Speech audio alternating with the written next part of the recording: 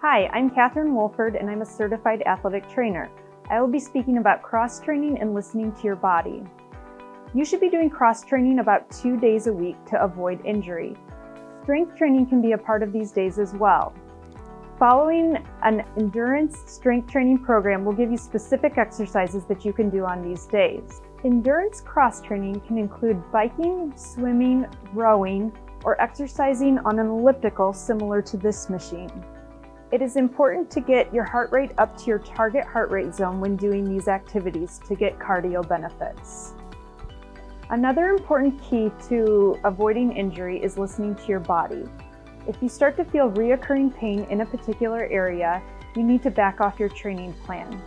This may mean taking more days of rest than normal, shortening your mileage, and running easier than normal. Rest is often the best and fastest way to heal an injury. Thank you, and I look forward to seeing you at the Great Inflatable Race.